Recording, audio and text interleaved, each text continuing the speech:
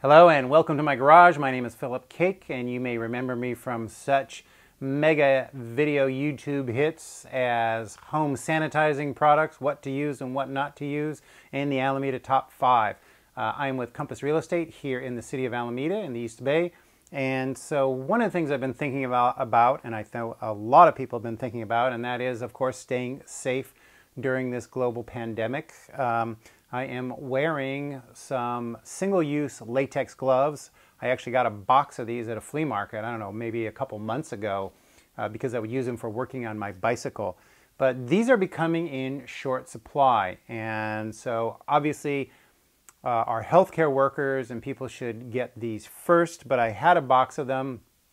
Uh, and I had been re I had been cleaning them and reusing them and my wife who is a healthcare worker said this is not really what they are intended for and so I've been reading up on it and certainly what happens is sanitizing products alcohol are very harsh and so they degrade the gloves and there could be micropores or other things that are created when you wash these gloves and reuse them.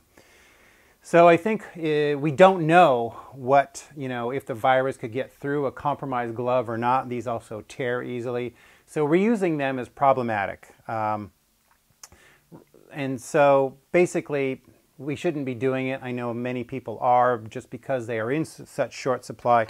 And so I thought about uh, other methods that you could have gloves for, and in particular, gloves that are intended to be reused.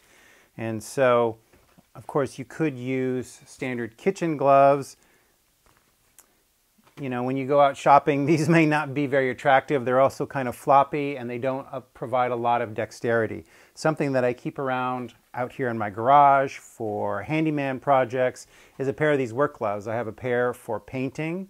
Um, although these are kind of a rubber coated gloves, they have a fabric back, so they're not waterproof, but the, the rubber coating provides a lot of dexterity and there's a lot of uh, good mobility in the gloves as well. And so one of the things I thought about is ways that I could sanitize these gloves after I've used them so that I could keep reusing them for something else shortly after. And I was in the shower and I needed to replace my shampoo and conditioner. And so I had two empty bottles of that. And so what I did is I took the shampoo bottle and I pushed some, put some dish soap in this, and I took the conditioner bottle, and I cleaned that, and I just put straight water in that. And so one of my little hacks is that you can take this soap solution and you can rub it on your gloves. Uh, if you've been out shopping, when you get back to your car, you could keep this at your car, and then you could basically clean these gloves at your car now you don't even necessarily need the water, but I did the water anyways. So you could then rinse off the gloves and you could keep a paper towel, roll of paper towels at your car so you could dry them off. And then you could either do one of two things. You could drive back home with these gloves on or you could take them off. And what I'm going to do is keep a little reusable shopping bag in my car where I can place the gloves and also where I can keep the solution of soap and water. And of course, when I get back home, I am going to wash my hands again because we want to stay safe. Uh, unfortunately, some of that comes through the fabric of the gloves, but still, so there's a way to have gloves on when you're shopping or out doing errands, and then you can reuse them and still sanitize them. So the other thing is that I watched a video recently from a healthcare worker about food and groceries and how to sanitize your groceries when you bring them back into your house. And so what I have here in my garage is I have a table that I have sanitized this table and I keep this as my clean space. And what I do is I unload the groceries from my bags up onto this space. And so here's a place where you could reuse the kitchen gloves.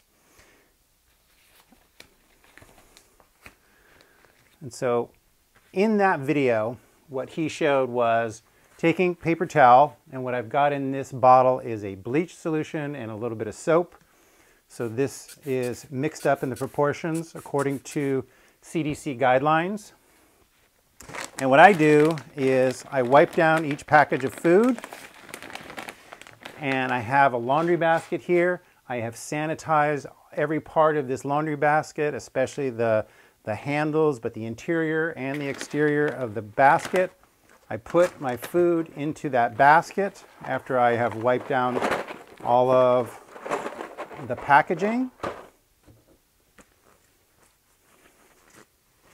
And I know this kind of seems like this is over the top, right? But the thing is, many people might have touched this, uh, these food products on the shelves, and you just don't know who has, and that's exactly how we know the virus spread. So I take the food from this area, I put it in this uh, laundry basket, and then I take that into the house.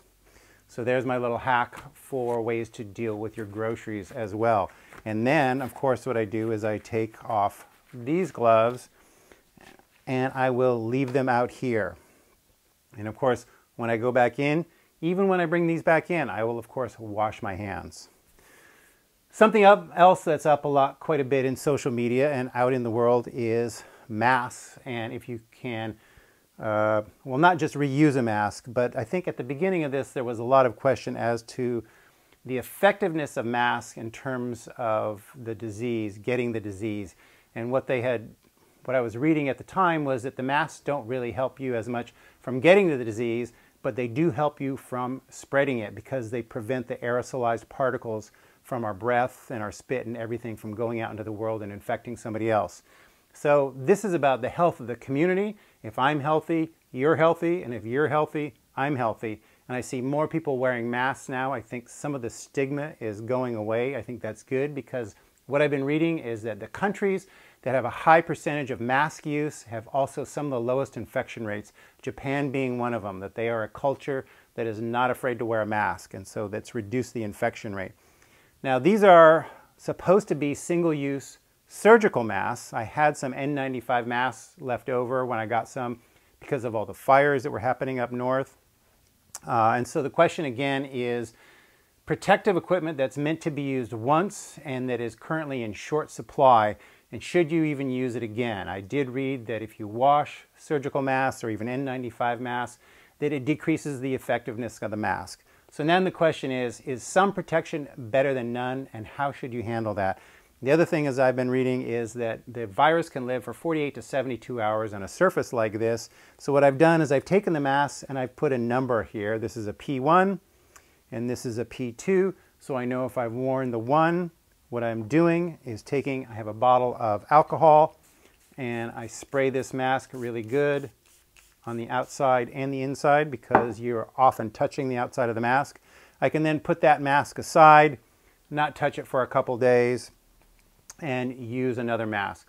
And hopefully the amount of masks that I do need when I'm going out into the world won't exceed, you know, the uh, drying time that we know that the virus will die in. Uh, I also have the N95 mask. So when I'm in my house, I don't need to wear a mask, but when I go out in the world, I generally do wear a mask.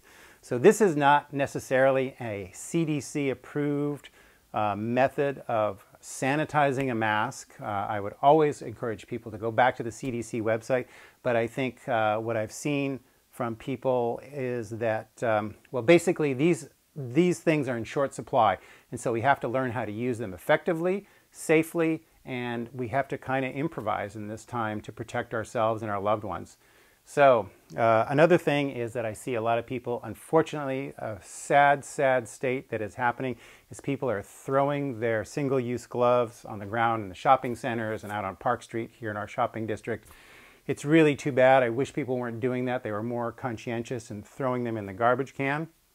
Uh, some of those have been closed up, but regardless, it's not something that I enjoy seeing. Um, anyways, those are some little hacks, life tips, and a rant from myself. I hope this video was helpful. If you enjoyed it, please give me a thumbs up. Leave a comment below, subscribe to my channel, and I'll see you on the next one. Thanks for watching.